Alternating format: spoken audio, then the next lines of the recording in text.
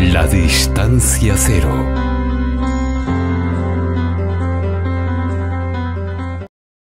La iluminación no es de tu incumbencia. Ramés Balsecar. ¿Qué es la búsqueda? La búsqueda eres tú queriendo conocer a Dios. Sea lo que sea que conozcas, es un objeto y tú eres el sujeto. Así que, si quieres conocer a Dios, ¿eso qué quiere decir? Que tú eres el sujeto y Dios el objeto. Pero lo que existe es lo opuesto. Dios es el sujeto y tú eres el objeto. ¿Y cómo puede un objeto conocer al sujeto? Al tratar de conocer a Dios, lo que el objeto ha hecho es usurpar la subjetividad de Dios. Y lo que es peor, este pseudo sujeto, habiendo usurpado la subjetividad de Dios, ha convertido a Dios en un objeto que el pseudo sujeto desea conocer. Por consiguiente, cuanto más busca el buscador a Dios, más se frustra.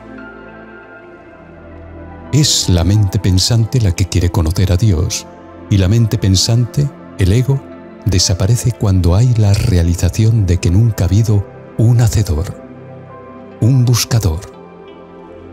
La aceptación total, incondicional, final, sucede únicamente cuando no hay un aceptador individual que dice, yo acepto que yo no soy el hacedor.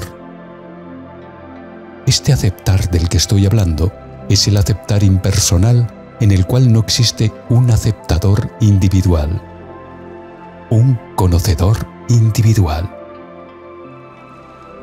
Y si aquel que deseaba conocer a Dios ha desaparecido por voluntad de Dios, aquel que quería conocer a Dios se ha convertido en Dios, porque Dios es todo lo que hay, el buscador y la búsqueda han sido aniquilados.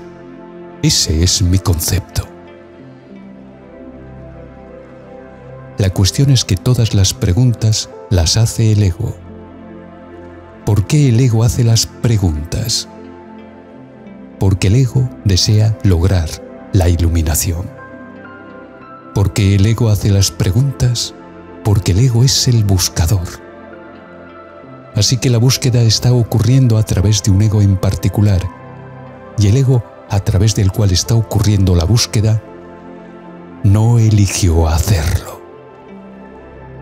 Si hubiera sabido el sufrimiento que ello conlleva la búsqueda, hubiese elegido no buscar.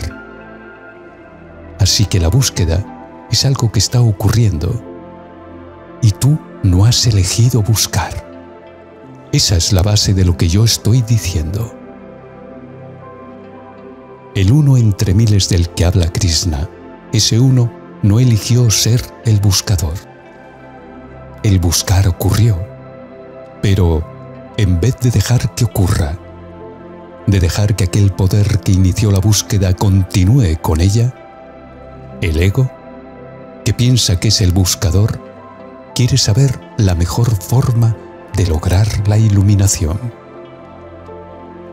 La búsqueda termina únicamente con la comprensión total, la comprensión incuestionable e incondicional de que nunca ha habido un buscador en ese punto termina. Termina con el caer en cuenta de ¿qué estoy haciendo yo? ¿Qué estoy buscando yo? Yo no elegí realizar la búsqueda. ¿Termina la búsqueda con este organismo cuerpo-mente? No importa.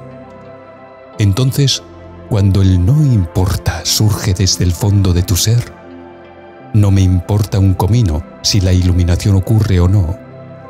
No es de mi incumbencia. Yo no soy el buscador. Entonces la iluminación está cerca, muy cerca de la realidad.